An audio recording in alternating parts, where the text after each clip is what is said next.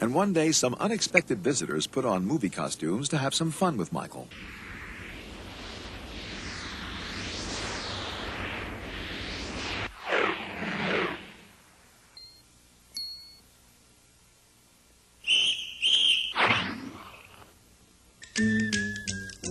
Yes, they were the famous Harlem Globetrotters.